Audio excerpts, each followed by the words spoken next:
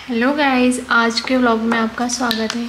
तो इस तरह की खाली बॉटल्स कांच की आपके घर में ऐसे ही पड़ी ही रहती होंगी। तो क्यों ना आज हम इसका इस्तेमाल करके एक अच्छे से खूबसूरत शो पीस बनाए। तो चलो स्टार्ट करते हैं। तो उसको, उसके लिए आपको सिर्फ़ लगेगा पहले पानी। तो इसमें मैं डाल दूँगी पानी। अरे यार, गिर गया। कोई बात नहीं। मैंने पानी डाला है। अब पानी डालने के बाद आपको क्या करना है सिंपली? वाइट कलर लेना है। आप कौन सा भी ले सकते हैं। एक्रेलिक लो वाटर कलर लो। तो ये इसमें मैंने डाल दिया। आप चाहे तो इसे कलर भी कर सकते हैं। पर मुझे वैसे भी इसमें कुछ रखना नहीं है। इसलिए मैं इसे कलर नहीं कर रही हूँ। ये पानी थोड़ा गिर गया। मैं इसे साफ़ कर लेती हूँ।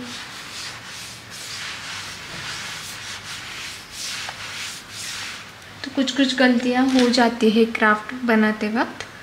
तो उसे निगलेक्ट कर देना। अब मैं क्या करूँगी? ग्रीन कलर का ग्र, मतलब ग्रीन कलर लूँगी और रेड कलर लूँगी। तो मैं क्या कर रही हूँ? जो बॉटल के बॉटल का ढक्कन रहता है उसमें जो कलर रहता है मैं वो यूज़ करूँगी। क्योंकि ये थोड़ा सा मतलब पतला पतला सा रहता है और ये जो है जो ढक्कन पे लगा रहता है वो काफ़ी अच्छा मतलब गाढ़ा रहता है थोड़ा। ये देखिए इस तरह। तो ये मैं यूज़ करूँगी। और अब मैं बनाऊँगी फ्रूट्स इस पर फ्रूट्स मतलब आ, मैं कौन सा फ्रूट बना रही हूँ? आप जल्दी से गैस कर लेना और मुझे कमेंट में बता देना। तो मैं पहले ग्रीन कलर यूज़ करूँगी इसे। और शायद आपको अंदाज़ा आ गया होगा कि मैं कौन सा फ्रूट ड्रॉ करूँगी। आप जल्दी से कमेंट में बता देना कि मैं कौन सा फ्रूट ड्रॉ करने वाली हूँ। तो मैं इस तरह से सभी साइड पे ड्रॉ कर लूँगी पहले।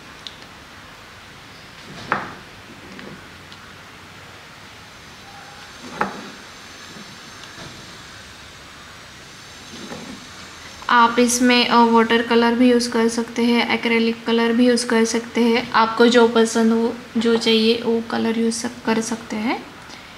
तो उसके बाद मैं क्या करूँगी, मैं रेड कलर लूँगी।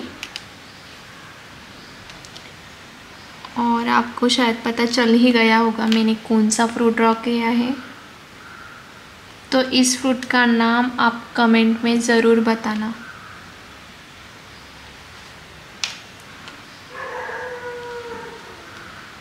तो ये फ्रूट काफ़ी क्यूट लगता है और ये मेरा फेवरेट है।